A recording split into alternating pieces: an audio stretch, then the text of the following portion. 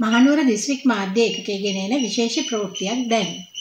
දන්තධාතුන් වහන්සේ උදෙසා ශ්‍රී දලදා මාලිගාවේදී දෛනිකව සිදු කරන තේවාව බාර රාජකාරිය මල්වතු පාර්ශවයේ සිට අස්කිරි පාර්ශවය වෙත පවරා දීම අද සිදු කෙරුණා.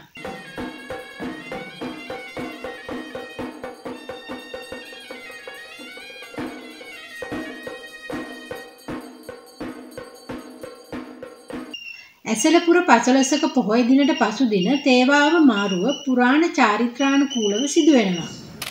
ඒ අනුව සියම් මහා නිකායේ මල්වතු පාර්ශවයේ මහානායක අතිපූජ්‍ය තිබ්බටුවාවේ ශ්‍රී සුමංගල හිමි අස්කිරි පාර්ශවයේ මහානායක අතිපූජ්‍ය වරකාගොඩ ඥානරතන හිමි සහ තේවාව බාර මහා සංඝරත්නය මෙම අවස්ථාවට සහභාගී වුණා.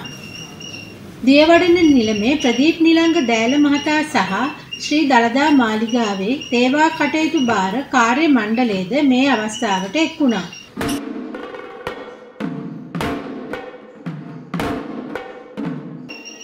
ඉකුත් වසරක කාලය තුල ශ්‍රී දළදා මාලිගාවේ දෛනික තේවාව භාර කටයුතු කරන ලද්දේ මල්වතු මහා විහාර පාර්ශවය විසින්.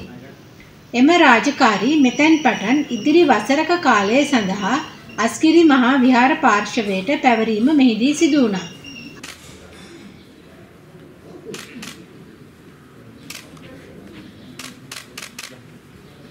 මහනුවර දිස්ත්‍රික් මාධ්‍ය ඒකකයේ ගෙන එන තවත් පුවත් සමගින් යලි හමු වෙමු.